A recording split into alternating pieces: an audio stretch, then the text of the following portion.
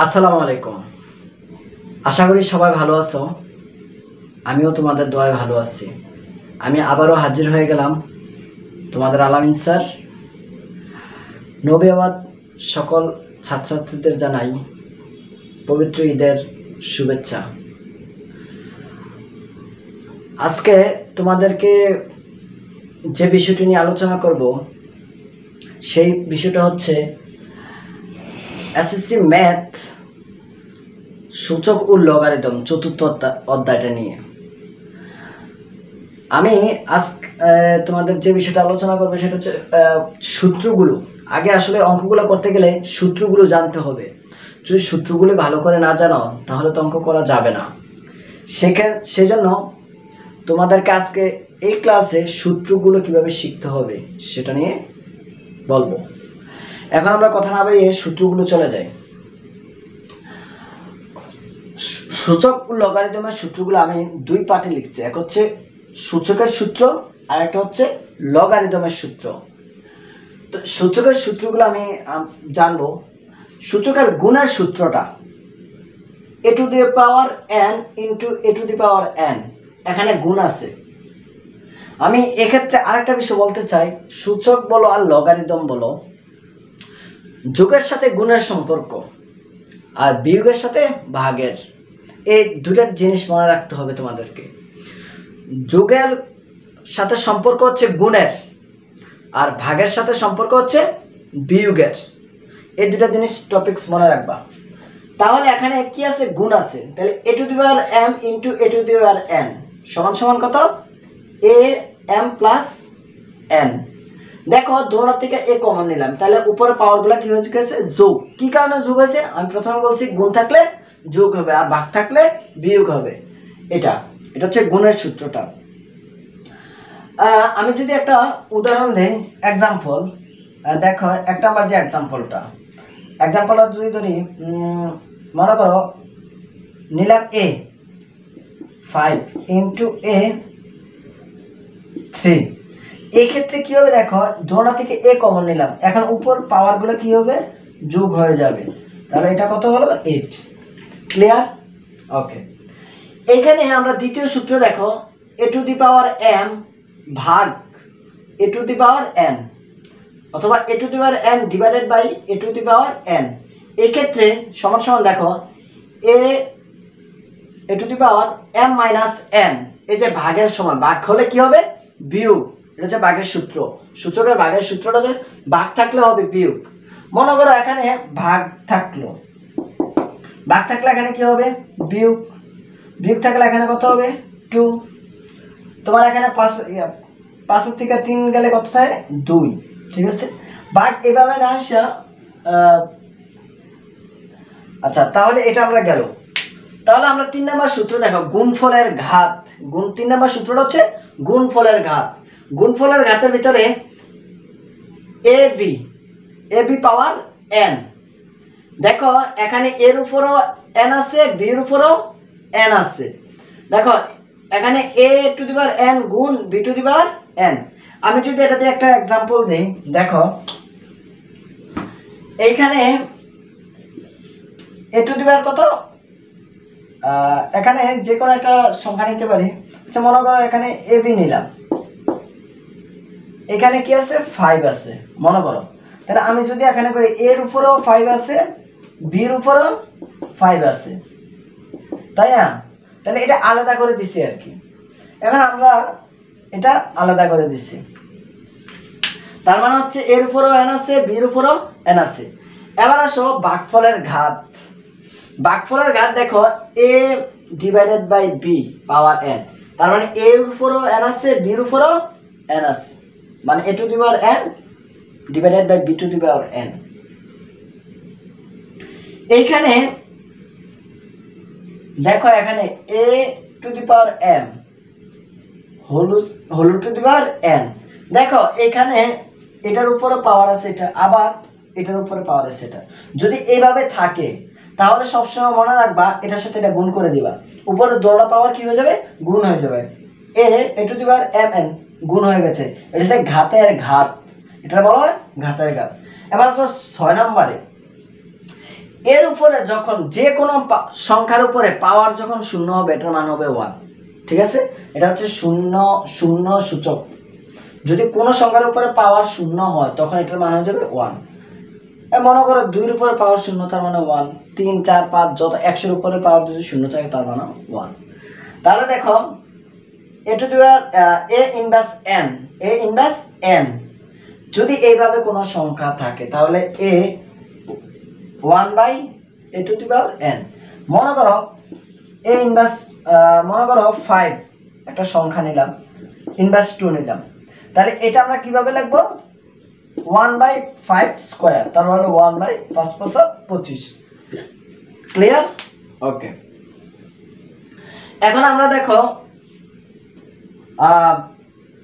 রোট মানে বর্গমূলের ক্ষেত্রে বর্গমূল হোক আর ঘন হোক বা যেটাই হোক পাওয়ার যখন এখানে এন রুটের উপরে পাওয়ার যখন এন হবে হ্যাঁ সেক্ষেত্রে কি করবা তোমরা? রোট, রুটের উপরে পাওয়ার কি এন আর এখানে আছে এ সমান এ সমান সমান হবে এ ওয়ান বাই এন মানে A to the one by N তাহলে দেখো, কোনো সংখ্যার উপরে মনে করো রোট আছে এটা। এখানে মনে করো থ্রি আছে। তাহলে এটা কি হবে? ফাইভ ওয়ান বাই এখানে যে সংখ্যাটা থাকবে, এখানে হবে এটা। এখানে যদি ফোর থাকে, তাহলে এখানে ফোর হবে। এখানে ফাইভ থাকলে, এখানে ফাইভ হবে, এখানে সিক্স থাকলে এখানে এখানে যদি থ্রি তাহলে এখানে থ্রি দিলাম। ক্লিয়ার ওকে আবার যখন এ টু দি পাওয়ার এক্স সমান সমান B to the power X দেখো এখানে পাওয়ার পাওয়ারটা যখন একই রকম হবে তখন পাওয়ারটা চলে যাবে। তখন কি হয়ে যাবে? এ সমান সমান বি এ সমান সমান বি তাহলে আমরা এ, সমান সমান বি তাহলে এক্ষেত্রে আবার পাওয়ার বা এখানে সূচক সূচক আর কি যদি বেসটা যদি একই রকম হয় এক কথায় শেষ যদি উপরটা একই রকম হয় উপরটা বাদ। এটা হচ্ছে সহজার্থে আর যদি নিচেরটা একই রকম হয় নিচেরটা বাদ। ক্লিয়ার ওকে এই দেওয়া আছে এ টু দি পাওয়ার এক্স সমান এ টু দি পাওয়ার ওয়াই তাহলে এখানে এ এ ভ্যানিশ তাহলে এক্স সমান কত? ওয়াই উপরে হোক, নিচে হোক, একই রকম হলে বাদ বাদ দিয়ে দিবা, ঠিক আছে? ওকে এবার আসো লগারিদমের সূত্র। লগারিদমের সূত্রের ক্ষেত্রে প্রথম আমরা শিখব শূন্য লগ। শূন্য লগের সূত্রটা হচ্ছে লগের সাথে, মনে করো একটা তো সংখ্যা থাকবে মনে করো লগ এ পাওয়ার কত? ওয়ান কোন লগের সাথে কোনো সংখ্যার উপরে যখন পাওয়ার ওয়ান হবে, যে কোনো সংখ্যা হতে পারে, এটার পাওয়ার যদি লগের সাথে ওয়ান হয় পাওয়ারটা তখন এটার মান হবে শূন্য। Clear log A to the power A মনে করো base log A base A log এর সাথে বেসের সাথে সংখ্যা দুটোটা যদি মিলে যায়, তাহলে এটার মান হবে কত? ওয়ান এটার বলা হয় এক লগ বা লগ এক। তখন দেখো, তিন নাম্বার সূত্রটা দেখো। এক কথাই শেষ এটার সাথে এরা যদি মিলে যায়, যে কোনো সংখ্যা, মনে করো এখানেও তিন আছে, এখানেও তিন আছে, তার মানে ওয়ান লগের সাথে যদি পাওয়ার বেস দুটোটাই মিলে যায়, তখন কি? এক হয়ে যাবে। এবার আসল গুণফলের লগ এই জিনিসটা বলা হয় গুণফলের লগ তাহলে আসলে এগুলো আমি সাইড দিয়ে তোমাদের বোঝাতে লিখে দিছি, আর তোমরা অবশ্যই এই ভিডিওটা পুশ করে একটা স্ক্রিনশট নিয়ে নিবা। ক্লিয়ার স্ক্রিনশট নিয়ে নিলে তুমি খাতায় যখন লিখবা, তখন তোমার জন্য সুবিধা হবে। আর বাংলাটা একটু লিখে শিখো, তাহলে তুমি বুঝবা যে কোনটা কোন সূত্র। তাহলে আমরা লগ এ এখানে কি আছে? Base M N log A base M N তাহলে কি হবে? সমান সমান ইকুয়াল লগ এর সাথে এম আছে লগ এর সাথে এম আছে। তাহলে এটা কি আকার আছে? গুণ আকার আছে। আমি বলছিলাম যে গুণ থাকলে হবে যোগ। ক্লিয়ার এই লগ এ এই লগ এর সাথে এম আছে, আবার লগ এর সাথে কি আছে? এন আছে। আর এখানে যেহেতু গুণ আকারে আছে, সেহেতু এখানে কি হবে? যোগ।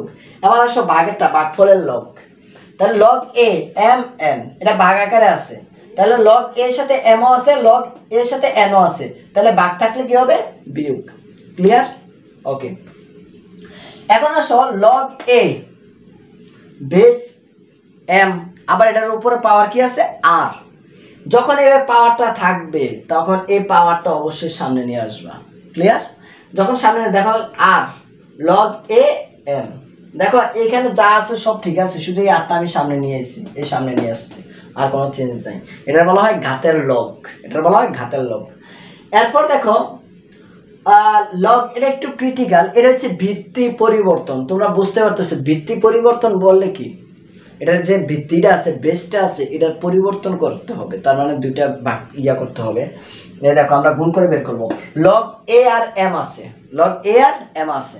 দেখো লগ এ আর এম আছে। তাহলে এখানে যেহেতু বেসটা কি আছে লগ এ আছে।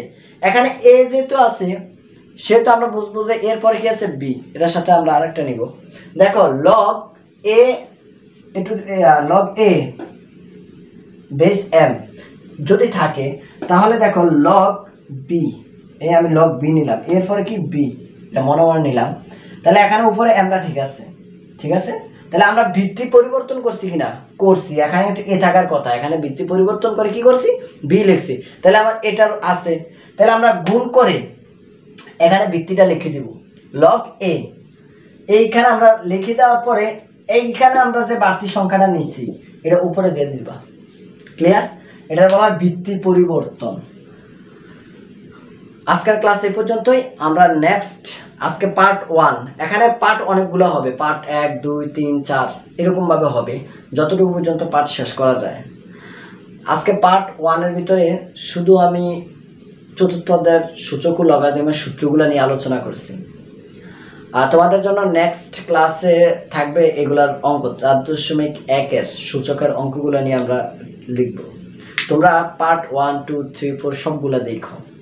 এতে করে কি ভালো হবে? তোমরা আগে পার্ট যদি একটা না দেখো, আরেকটা তাহলে বুঝবা না। কারণ এক একটা পার্টে হয়তো বা এক এক রকম মানে আলোচনাগুলো আছে। যেগুলো মিস্টেক আছে, এগুলো অনেকগুলো পার্টে আছে। তোমরা পার্টগুলো একটু ভালো করে দেখবা। আর অবশ্যই আমার চ্যানেলটি সাবস্ক্রাইব করে নিও।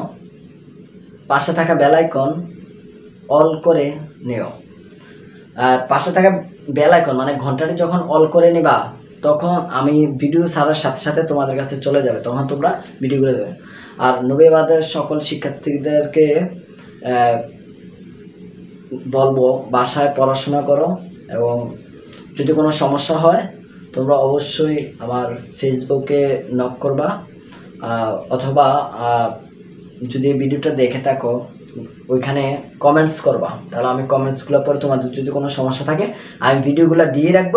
তোমরা সেখান থেকে নিয়ে নিও। সবাই ভালো থাকবা সুস্থ থাকবা। সবার জন্য শুভকামনা।